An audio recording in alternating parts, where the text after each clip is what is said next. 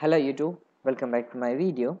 In this video i'm going to show you how you can hide the download path in php okay? So i have uh, just given two examples here. So this is the the uh, file which we are i mean uh, you may you may have hosted in your website. And you want to hide this link completely and you, you can give a custom url like this for all the files uh, which uh, you are uh, giving the download option okay so i have just opened my download section in my chrome browser. As you can see I have uh, downloaded these files uh, from uh, these sites uh, but you can see uh, the link of this site i mean this file is shown here. See exactly here. So uh, i'm going to show you how you can hide this in your website and you can have custom links for different files also okay so I have my uh, XAMPP server installed in my uh, PC if you don't know how to set up a simple PHP server please go into my videos. I have another video how you can uh, set up a simple PHP server okay? So let me uh, start my Apache uh, XAMPP uh, server Apache server through XAMPP so it's installed in C drive XAMPP and st docs folder where I will create my PHP pages okay? So I'm just creating an index.php where we'll start our page okay? Let me open this in my notepad plus plus. And I'm just writing my name and if I'm just saving this and uh, let me open my browser and if I'm just writing localhost you can see uh, the page has been loaded okay? Okay I just uh, created a folder named files inside the htdoc folder. So I have just pasted two uh, files uh, to, to just to try testing. So this is t.pdf and this is uh, just a zip file with some contents okay? Now I'm going to create uh, an actual download link for that file through index.php so I'm just writing the code here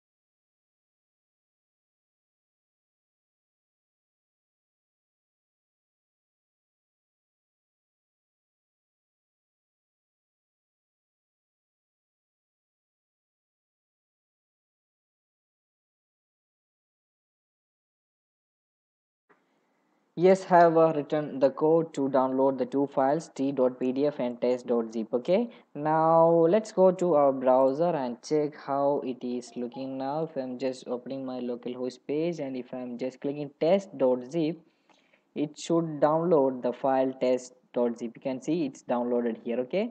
Now if i'm just uh, going for t.pdf it should uh, open the file or force me to download okay? So i'm trying to download that. If i'm just downloading this one you can see the file should download okay? I'm just downloading here okay? You can see file is also downloaded okay yes this is the downloads page of uh, my chrome browser. As you can see the link of both the files is shown here. So if the user is getting this link directly they don't want to open our our website uh, through uh, the proper way. They have they can just copy paste the link and download it as like this okay? Now uh, we can hide this link permanently from the user. That's what i am going to show you here so let me download this test.zip and uh, t.pdf if i'm just copying it again you can see is going to uh, the page link okay? So i'm going to show you how you can download this. So i'm going to create a new fold i mean new file here which is going to mask uh, the actual link of the file okay? So let me uh, create a new file here and i'll write the code inside that and let's see how we can mask the link again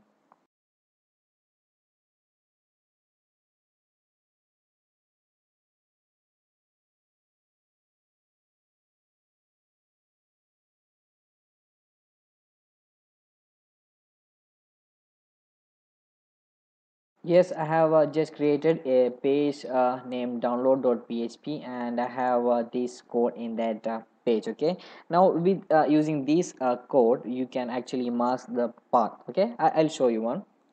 Now we have already uh, uh, given this download link. I mean if you are uh, clicking the t.pdf this will be download okay? Now i'm just uh, pasting that link inside this path and saving this. And here i am uh, giving a giving a link to download that through that uh, through that download.php okay? Let's see. So i am uh, giving it as uh, through download okay? download.php and I'm giving the path as download.php only okay? Let's see if I'm just saving this one. And uh, going back to our page and I'm just refreshing the localhost page. And you can see I have a link here t.pdf through download.php okay? So you can see uh, uh, down here uh, the link of the page download.php if I'm just clicking that you can see the uh, t.pdf is again getting downloaded. Now uh, going to the downloads page you can see we have successfully masked uh, the link of this file. You can see before it was like localhost files t.pdf now we have successfully masked it completely to download.php okay? So uh, the user will not get the uh, exact path of uh, our file okay? Now i'm going to test uh, with uh, this test.zip if i'm uh, now going to files and i'm taking the test.zip copy it come back to the page and I'm pasting it here. Save it. And now just going back to our page and refreshing it here uh, if I'm just uh, uh, clicking this one it will download the test.zip you can see test.zip is been downloaded and the path is this one okay? Localhost uh, dot uh, uh, slash download.php okay? So you can basically you can keep your files anywhere in the anywhere inside the folder. All you have to do is in your download.php file uh, just put your path correctly okay? So this will work for all type of file like a jpg file or excel file any type of file this code is working i have tested that okay?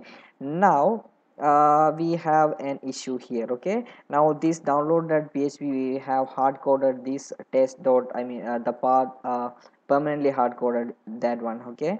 Now what if we want to have this download option for the two files which we have given here t.pdf and uh, and the test.c we want uh, the masking uh, without hard coding it here. We can do it. We will have to uh, uh, do a small change in uh, this download.php so the basic way if you have lesser download files you can I, will show you a small example. Now let me let me create a this is for now now let it for t.pdf okay? So if I am clicking it here it will download the t.pdf and now I am giving for test.zip so test.zip dot uh,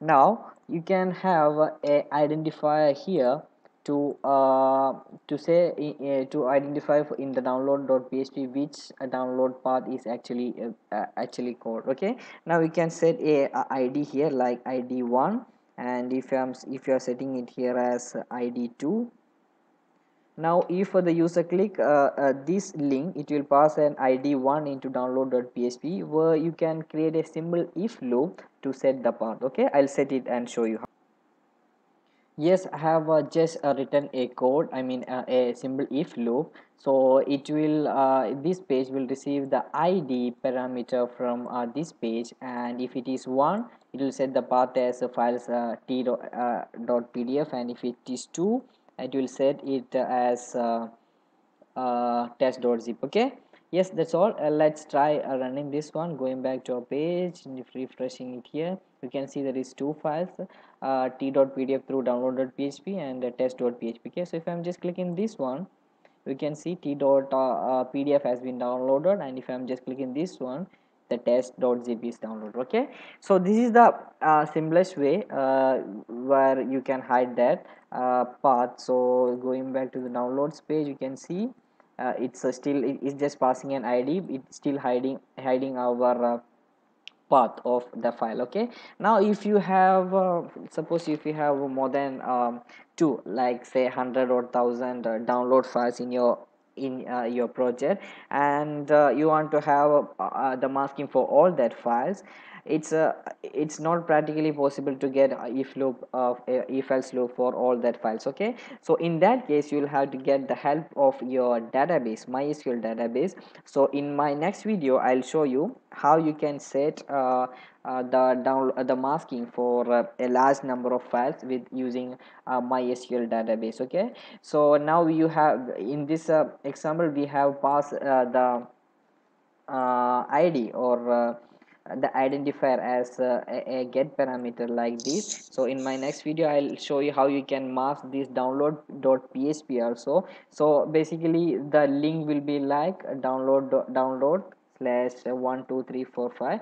Only this will be the all other things will be done uh, by uh, the mysql database okay? So in my next video i'll show you that. Hope you got uh, this example uh, very clearly if you have any doubt in this please comment below. I'll share all uh, this uh, source code in my description. Can have it. And please like and subscribe for my videos and thanks for